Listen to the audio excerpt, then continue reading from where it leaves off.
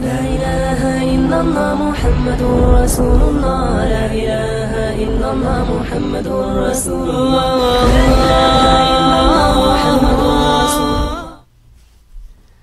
حضور اکرم صلی اللہ علیہ وآلہ وسلم تین سال تک لوگوں کو پوشیدہ طور پر اللہ کی طرف دعوت دیتے رہے۔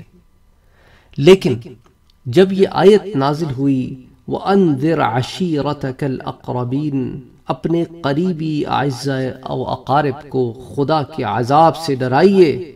تو حضور اکرم صلی اللہ علیہ وآلہ وسلم نے بنو عبد المطلب کو جمع کیا اور ان کے لیے کھانے پینے کا انتظام کیا۔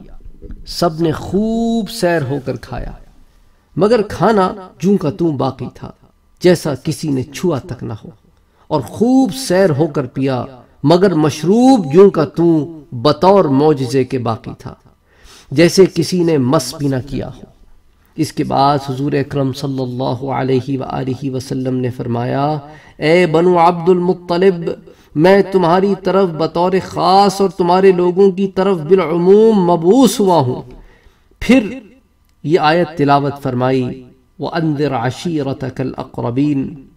پھر فرمایا تم میں سے کون اس بات پر بیعت یعنی کہ عہد کرتا ہے کہ وہ میرا بھائی اور دوست بنے گا؟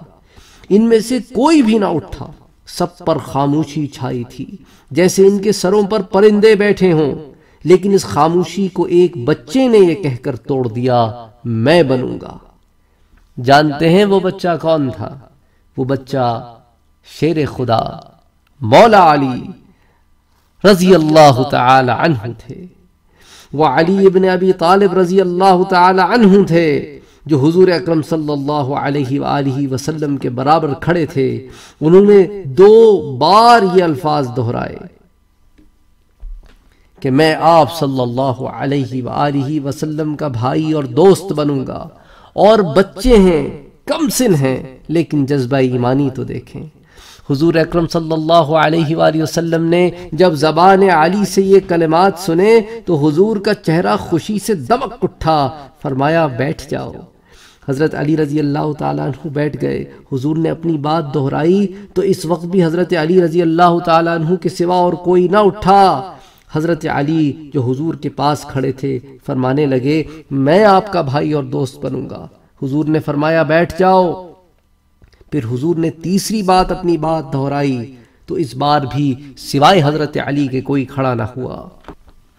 حضرت علی رضی اللہ تعالی عنہ ہی فرماتے رہے، میں آپ کا بھائی اور دوست بنوں گا۔ حضور نے تبسم فرمایا۔